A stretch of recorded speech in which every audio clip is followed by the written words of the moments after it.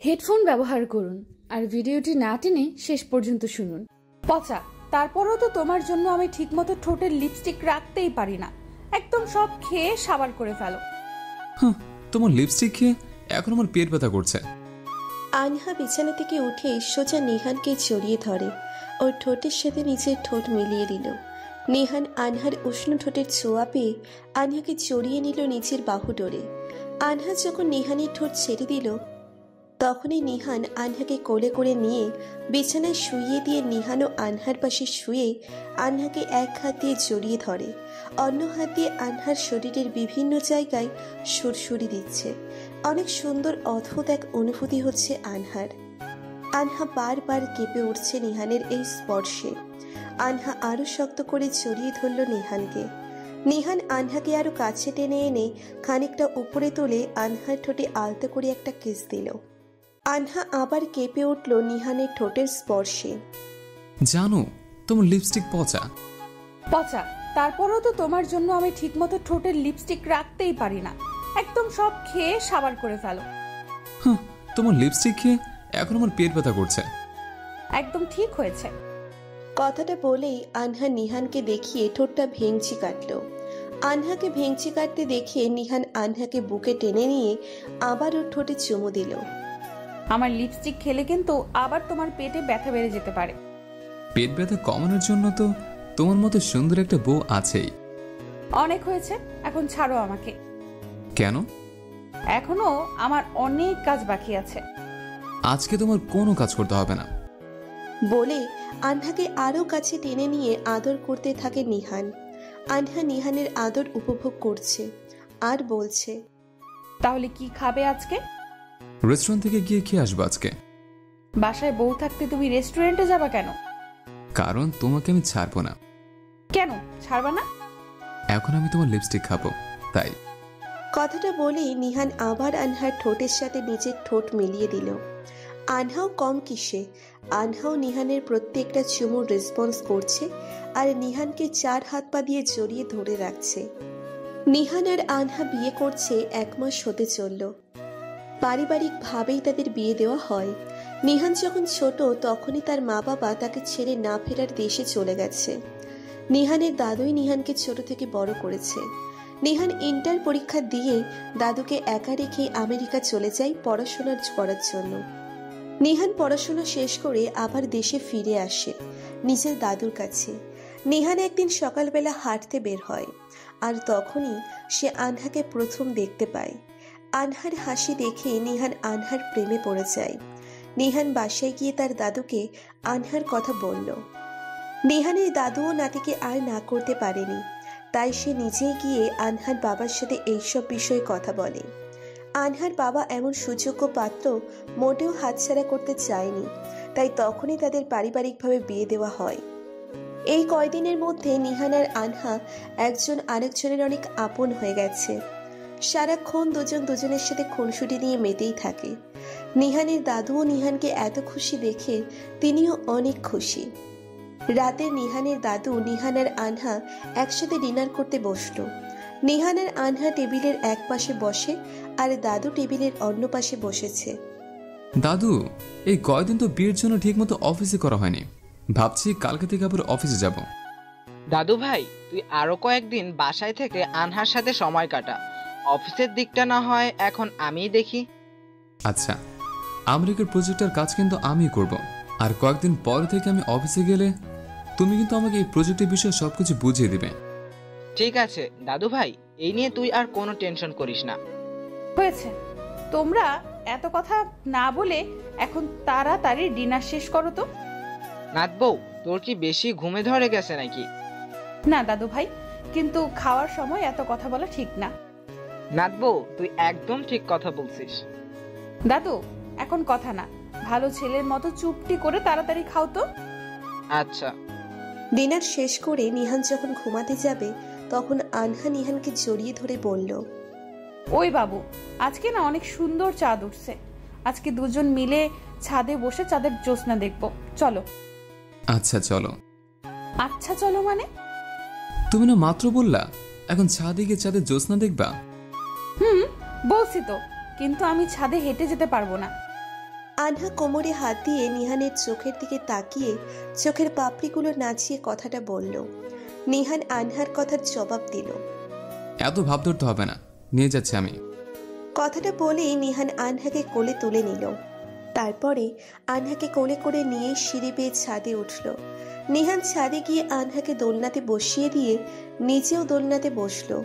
আনহা এক নজরে আকাশের দিকে তাকিয়ে চাঁদ দেখছে। আজকের চাঁদটা সত্যিই অনেক সুন্দর। চাঁদের আলোয় চারিদিক একেবারে মুখরিত হয়ে গেছে। আনহা এর আগেও অনেকবার এইরকম ছাদে বসে জ্যোৎস্না দেখেছে।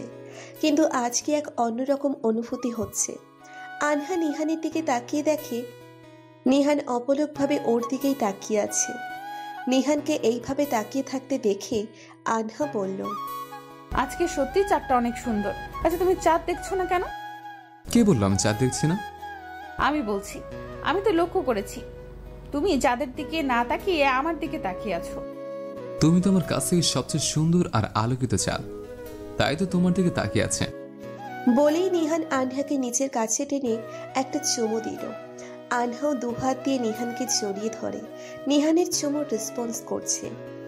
বাবু আসো আমরা রুমে চলে যাই। এইখানে তো অনেক ভালো লাগছে। তাহলে রুমে যাব কেন? ওই কুত্তা বুঝোস না? এখানে আমার লজ্জা লাগছে। এইখানে তো আমি আর তুমি ছাড়া কেউ নাই। তাহলে তুমি কাকে দেখে লজ্জা পাচ্ছ? চাঁদ দেখে লজ্জা পাচ্ছি। কথাটা বলেই আনহা নিহানের বুকে মুখ লুকিয়ে ফেলল। নিহানও আর আনহাকে মাথা তুলতেই না দিয়েই আনহাকে পাঁচকোলা করে রুমে নিয়ে গেল। ছাদে কত ভালো লাগছিল আর তোমাকে আদর করতে মজা লাগছিল। আমার কাছে একটুও ভালো লাগছিল না। কেন? তুমি তো বলে ছাদে যাওয়ার কথা। হুম আমি ছাদে যেতে বলছি তাই বলি কি যাদের সামনেই আমাকে এইভাবে আদর করবা আমার বুঝি লজ্জা লাগে না? চাঁদ কি কোনো মানুষ নাকি যে লজ্জা পাবা? যাই হোক। আচ্ছা এসব কথা এখন বাদ দাও। তোমাকে এখন আদর করতে দাও? আমি কি তোমাকে আদর করতে মানা করছি নাকি? নিহান আর কোনো কথা না বলে আনহার কোমরে হাত দিয়ে আনহাকে নিচের আর একটু কাছে টেনে আনলো। আনহার বুকটা গিয়ে নিহানের বুকের সাথে মিশে নিহানের নিঃশ্বাসের সাথে তাল মিলিয়ে ওঠানামা করছে। নিহান বুঝতে পারছে আনহার নিঃশ্বাস প্রচণ্ড ভারী হয়ে যাচ্ছে। নিহান আনহার ঠোঁটের সাথে নিজের ঠোঁট মিলিয়ে দিল। আনহাও নিহানের ভালোবাসার মাঝে হারিয়ে যাচ্ছে। নিহান আর আনহা তাদের কাজ সম্পন্ন করে নিহান আনহাকে নিচের বুকের সাথে জড়িয়ে নিয়ে ঘুমের দেশে হারিয়ে গেল। আনহার আর নিহানের দাম্পত্য জীবন অনেক ভালোই যাচ্ছে। একজন আরেকজনকে পেয়ে অনেক খুশি। নিহানের আনহা একে অপরকে বড্ড বেশি ভালোবাসে। তানহা। হুম বলো। অফিসের কাছে আমাকে আমেরিকা যেতে হবে। নিহানের কথা শুনে আনহার মন খারাপ হয়ে গেল। আনহা মন খারাপ করে নিহানকে বলল এখন না গিয়ে কিছুদিন পরে গেলে হয় না? এই প্রজেক্ট আমার ড্রিম প্রজেক্ট আর আমি অনেকদিন ধরেই এই প্রজেক্টের অপেক্ষা ছিলাম। ও তো কয়দিনের জন্য যাবা? দেড় দুই মাসের জন্য। এতদিনের জন্য? হুম বাবু। প্লিজ বাবু তুমি এইভাবে মন খারাপ করো না। দুই মাসের ভিতর আমি প্রজেক্টের কাজ শেষ করে চলে আসব। সত্যি তো? তিন সত্যি। পরের দিন নিহান আমেরিকায় চলে যাবে। তাই আনহা নিহানের সব কাপড় চোপড় প্যাক করে দিল। আর নিহান যে কয়দিন আমেরিকায় থাকবে আনহা ততদিন বাবার বাসায় থাকবে। তাই আনহা নিজের কিছু কাপড়ও প্যাক করে নিল। আনহা প্যাক করা শেষ করে ফ্রেশ হয়ে নিচে চলে গেল রাতের খাবার খেতে। আনহা টেবিলে সব কিছু সাজিয়ে তারপরে নিহানকে ডাক দিল। নিহান আর আনহা একসাথে রাতের খাবার খেয়ে ঘরে এসে শুয়ে পড়ল। আনহা নিহানকে একদম আষ্টে পৃষ্ঠে জড়িয়ে ধরে শুয়ে আছে। এমনভাবে জড়িয়ে ধরে শুয়ে আছে যে নিহানকে ছেড়ে দিলেই দূরে কোথাও হারিয়ে যাবে। আনহা নিহানের বুক থেকে মাথাটা বের করে অনেকটা করুণ সুরে নিহানকে বলল, নিহান, তোমাকে আমার সবটা দিয়ে ভালোবাসবো। নিজে কষ্টে থাকব, তারপরেও তোমাকে কষ্ট দিব না। প্লিজ আমাকে একা রেখে এত দূরে চলে যেও না। বিশ্বাস করো আমি তোমাকে ছাড়া বেঁচে থাকতে পারব না। আর তোমাকে ছাড়া প্রত্যেকটা দিনই আমার অনেক কষ্টময় যাবে। নিহান তোমাকে যে আমি অনেক ভালোবেসে ফেলেছি। আনহা কান্না করতে করতে কথাগুলি নিহানকে বলল। নিহান আনহার কথা শুনে আনহাকে আরেকটু শক্ত করে বাহুতে চেপে ধরে বলল তানহা তুমি তো জানো আমি তোমাকে কতটা ভালোবাসি। আমি এই প্রজেক্টের পিছনে অনেক সময় নষ্ট করেছি। আর আমার লাইফের ড্রিম প্রজেক্ট এটা। প্লিজ তুমি আমাকে এইভাবে বললে আমি আর আমেরিকা যেতে পারব না। আমি প্রজেক্টের কাজ যত তাড়াতাড়ি সম্ভব শেষ করে আবার তোমার কাছে চলে আসব। আরেকটা কথা আমি তোমাকে বড্ড ভালোবাসি। আর আমি তোমার থেকে হাজার মাস দূরে গেলেও তোমাকে ঠিক এতটাই ভালোবাসবো। মনে রেখো। তোমাকে একটা কথা বলি? একটা কেন? তোমার যত কিছু কথা বলো। আজকে আমি তোমার সব কথা শুনব। সব শুনতে হবে না। আপাতত একটা কথা শুনলেই হবে। বলো। কি কথা? তুমি যতদিন আমেরিকায় থাকবে আমি ততদিন বাবার বাসায় থাকতে চাই। আচ্ছা বাবু এখন ঘুমাও। কালকে আবার সকাল সকাল উঠতে হবে। আচ্ছা। বলেই আনহা নিহানের বুকে মাথা রেখে শুয়ে রইল। আর নিহানও পরম যত্নে বুকের সাথে তার ভালোবাসার মানুষকে জড়িয়ে ধরে ঘুমিয়ে পড়ল। পরের দিন সকালবেলা। সকালবেলা কারও ঠোঁটের স্পর্শ পেয়ে আনহার ঘুমটা ভেঙে গেল।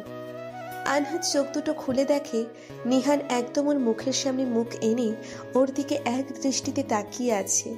নিহানের গরম নিঃশ্বাস আনহার মুখের উপরে পড়ছে। নিহানকে এইভাবে তাকিয়ে থাকতে দেখে আনহা লজ্জা পেয়ে নিহানের গলা জড়িয়ে ধরল। কয়টা বাজে? জানো? আমি তো মাত্রই ঘুম থেকে উঠলাম। তাহলে আমি জানব কি করে? আমাকে সকাল আটটার দিকে বাসা থেকে বের হতে হবে। কারণ আমার ফ্লাইট দশটায়। আর এখন চারটা বাজে। আবার তোমাকে ওই পাশে নামিয়ে দিয়ে তারপর আমাকে এয়ারপোর্টে যেতে হবে। তোমার তো আবার শাস্তি লাগবে এক ঘণ্টা। আমি সেই কোন সকালে ঘুম থেকে উঠে ফ্রেশ হয়ে দেখো রেডি হয়ে গেছে। আমি তো তাড়াতাড়ি ঘুমাতে চেয়েছিলাম কিন্তু তুমি তো রাতে কত গল্প করলা। নিহান আনহার কথা শুনে আনহাকে নিজের আর একটু কাছে টেনে আনহার কানের কাছে মুখ নিয়ে ফিসফিস করে বলল মিথ্যাবাদী কালকে তো আমি তোমাকে কিছু করে নাই। আর কই বেশি রাত পর্যন্ত গল্প করছে? তুমি যে একটা অলস এই কথা বলো। শুধু শুধু আমাকে দোষ না দিয়ে। বাবু আমি আর একটু ঘুমাই। আজকে না আমার অনেক ঘুম পাচ্ছে। আর একটু লেট করে গেলে কি হবে?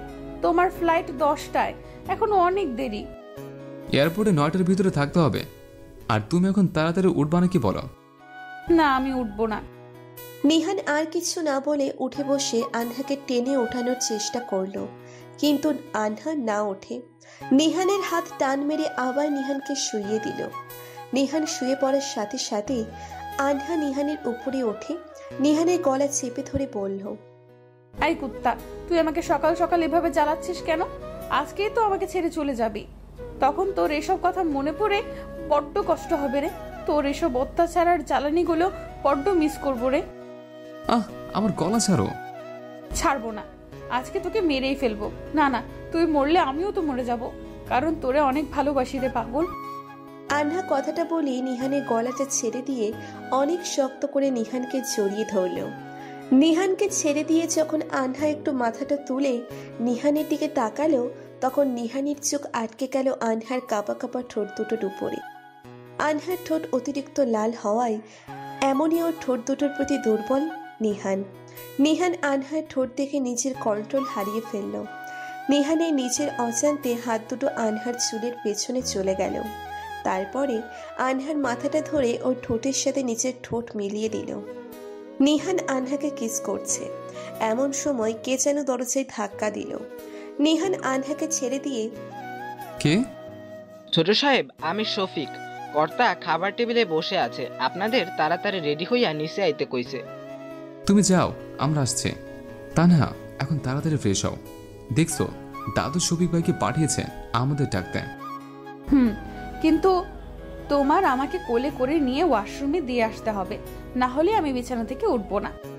নিহান চুপচাপ এক মিনিট ভেবে বলল ঠিক আছে এইদিকে আসো। আনহা নিহানের পাশে আসতেই নিহান আনহাকে কোলে তুলে নিল। আর আনহা অনেক রোমান্টিকভাবে নিহানের গলা জড়িয়ে ধরে আছে। নিহান আনহাকে ওয়াশরুমে নামিয়ে দিয়ে নিচে খাবারের টেবিলে চলে আসলো। একটু পরে আনহাও রেডি হয়ে খাবারের টেবিলে চলে আসলো। তারপরে সবাই একসাথে বসে ব্রেকফাস্ট করল। ব্রেকফাস্ট শেষ করে দাদুর কাছ থেকে বিদায় নিয়ে নিহান আর আনহা দুজনেই বাসা থেকে বেরিয়ে পড়ল। এয়ারপোর্টে আসার পথে আনহাকে ওর বাবার বাসায় নামিয়ে দিয়ে গেল। আনহা গাড়িতে থেকে নামার আগে নিহানকে জড়িয়ে ধরে। ওর বুকে কান্না করে দিল। এই পাগলে তুমি কান্না করছ কেন? তোমাকে ছাড়া আমার এই দুই মাস থাকতে খুব কষ্ট হবে। জানি তো কিন্তু এটা তো আমাদের ভালোর জন্য করতে যাচ্ছে। কথাটা বলেই নিহান আন্নাকে কাছে টেনে নিয়ে ওর ঠোঁটে ভালোবাসার পরশ এঁকে দিল। হুম আর সব কাজ কিন্তু সাবধানে করবা। আচ্ছা আর তুমি সাবধানে থেকো আমার দেরি হয়ে যাচ্ছে। হুম যাও। কথাটা বলেই নিহানকে বিদায় জানিয়েই আনহা গাড়ি থেকে বের হয়ে গেল আর নিহানও সোজা চলে গেল। দু মাস পর। ভিডিওটি কেমন লাগল? ভালো লাগলে একটি লাইক করে কমেন্ট করে জানান।